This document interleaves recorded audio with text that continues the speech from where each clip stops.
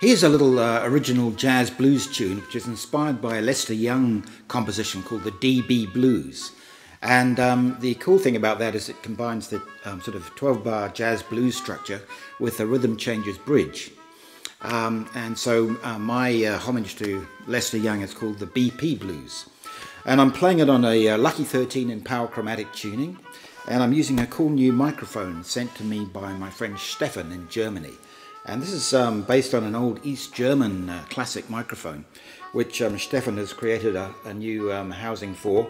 And um, it's, you know, pretty nice microphone. Lots of information about it in the description below.